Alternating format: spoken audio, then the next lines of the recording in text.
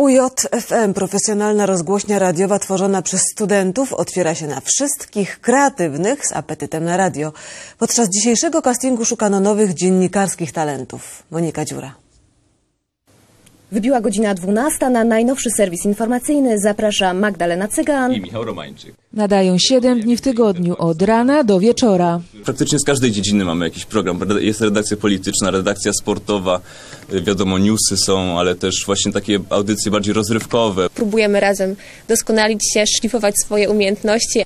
Internetowa rozgłośnia na najstarszej uczelni w Polsce, oprócz newsroomu, gdzie przygotowuje się informacje, dysponuje dwoma studiami. Bardzo profesjonalny sprzęt, y, taki sam, jaki e, posiadają wszystkie profesjonalne rozgłośnie w Polsce. Adeptów wspierają znani dziennikarze radiowi Marcin Kubat i Beata Sabała-Zielińska. Uczymy się pisania newsów, montowania tych newsów, nagrywania materiałów reporterskich, prowadzenia audycji różnych, autorskich, tematycznych, muzycznych, robią nawet słuchowisko.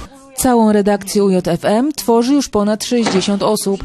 W tym roku akademickim rozgłośnia zorganizowała kolejny casting. Poszukujemy młodych, kreatywnych ludzi z apetytem na radio. Zabierzcie ze sobą dobre pomysły. Pomyślałam, że udział w takim wydarzeniu może przynieść mi nowe doświadczenia. Ten casting był bardzo spontanicznym pomysłem.